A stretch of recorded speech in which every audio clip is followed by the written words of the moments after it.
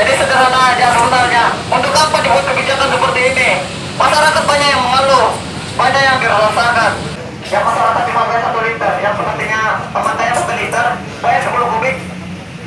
Sedang kubiknya masyarakat tidak rela gimana pada pada tidak Ya memang rasa keberatan karena nggak dipakai. Karena nggak dipakai tetap tetap bayar ya Pak ya. Enggak, saya mau tadi ke sini mau konfirmasi ya. Apakah kebijakan gitu? Kalau memang gitu, tolong dikaji ulang kayak itu nah, dikaji ulang. Apakah pantas? Kalau memang pantas ya lanjutkan. Kalau memang nggak pantas, tolong diperbaiki.